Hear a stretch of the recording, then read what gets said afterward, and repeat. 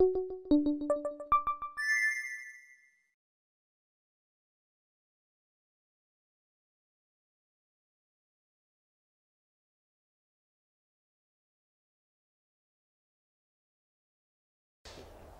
ー、私たち、まあ、夫婦で、えー、5年前に脱サラしまして、あの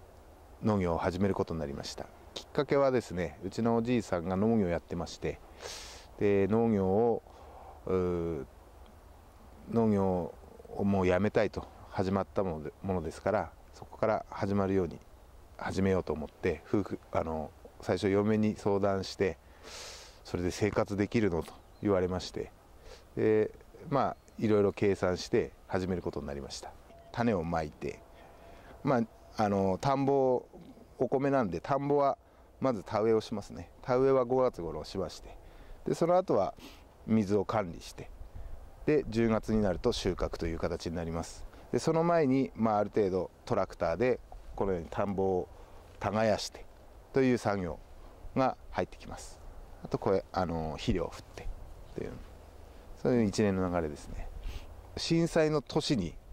発表されたあ、まあの県でも奨励して、まあ、その前の年からあの15年間データを重ねて作ってきた品種であるんですけどもあのその年にあの発表という米になりました。で天の粒の特徴なんですけどもあの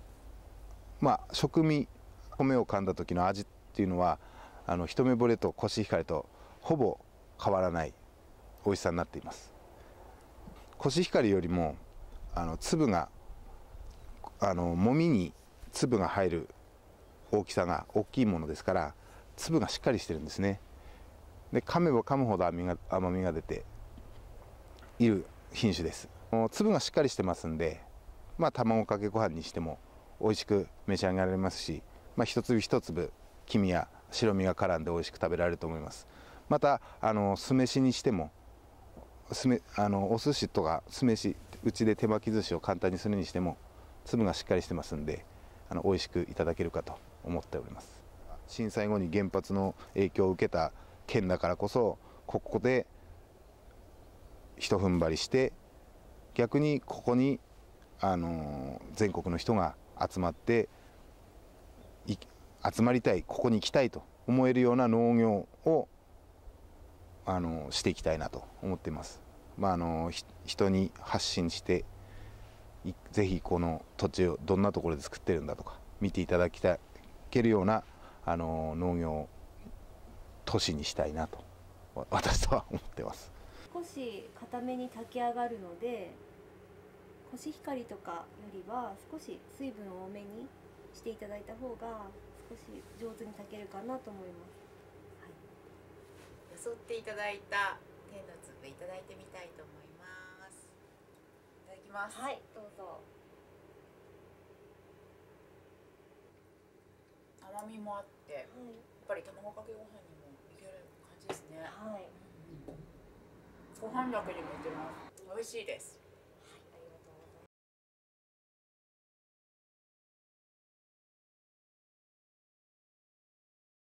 っていうのはあくまでも海のものと、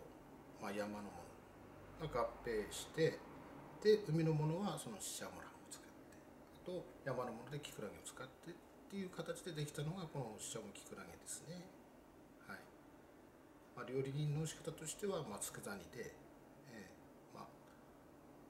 いろんな方にも、まあ、味も、まあ、好んで食べていただけるというような商品です。バリまあなんて言いますかねおかずが何もない時にでもねちょっと冷蔵庫から出してきて、まあ、あとは、まあ、おにぎりに入れてもらったりあとは夜であればお父さんお母さんが、まあ、酒のつまみとかそういうものに、まあ、たしなんでもらうっていう、うん、そういうような形で、まあ、売れてると思います。まあ、扱い店舗としてはあの塩谷崎灯台の山六観光さんとかあとはあのララミューですね。ララミューの丸太さんあとは一吉さん。あそういう形であの、まあ、試食を出してですね、まあ、この商品をまあ気に入っていただいて買っていただいてるという感じですね。で一番のポイントっていうのはあの、まあ、レストランやってます漁師の店山六。そちらの方であの、まあ、小鉢といいますかあの添える形で、まあ、ちょっとした一口が、まあ、お膳についてくるという形で。であとはその美味しかったらば下で買ってもらえる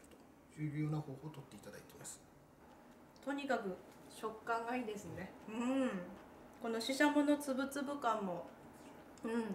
あのちゃんと伝わってきます。美味しいです。ちょっともう一口入れようかししゃもきくらげのほかにしじみ汁これも全国からファンが大変多く販売させていただいております。で去年の6月出ましたしじんパワー。これはのんべえの味方ということでお酒飲む方に勧めさせていただきたいと思います。以上です。よろしくお願いします。